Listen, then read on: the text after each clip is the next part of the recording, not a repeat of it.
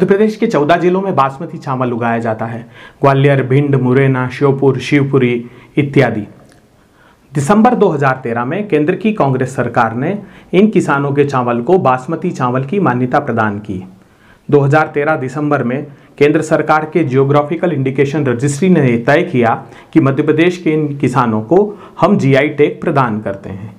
मगर 5 फरवरी 2016 को केंद्र की मोदी सरकार के इंटेलेक्चुअल प्रॉपर्टी अपीलेट बोर्ड ने इन चावल के किसानों की बासमती के रूप में मान्यता समाप्त कर दी, क्योंकि 29 सितंबर 2014 को मोदी सरकार के agricultural and process foods export and development agency अर्थात एपीडा ने जमकर विरोध किया। इतना ही नहीं, फरवरी 2020 में मद्रास हाई कोर्ट ने मोदी सरकार के जम के विरोध के कारण मध्य प्रदेश के किसानों की बासमती चावल की मान्यता भी निरस्त कर दी।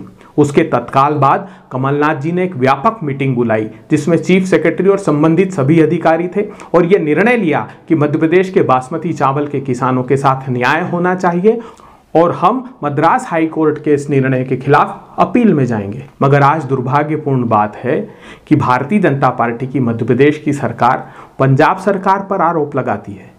मैं पूछना चाहता हूँ शिवराज जी और नरोत्तम मिश्र जी से कि बताएँ, क्या केंद्र की मोदी सरकार पंजाब सरकार की एड एंड एडवाइस पर काम कर रही है? दुर्भाग्यपूर्ण बात है, अपनी नाकामियों पर पर्दा डालने के लिए आप कांग्रेस पर आरोप लगा रहे हैं। एक बार अगर मोदी सरकार का दृढ़ता से इस दौरान विरोध कर दिया होता तो इन सात सालों के भीतर मध्य प्रदेश के चावल उत्पादक किसानों को न्याय मिल चुका होता। संगीत की स्वर लहरियों से सांस्कृतिक ताने बाने तक। चंबल के पीड़ों से नक्सलवादियों के गढ़ तक। झोपड़ी से महलों तक। ठेलों से मेलों तक।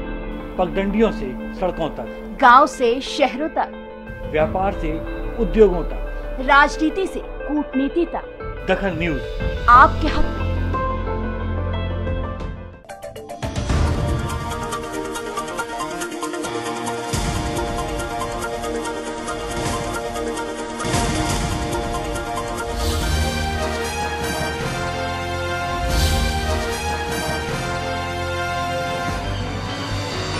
आप देख रहे हैं दखल न्यूज़।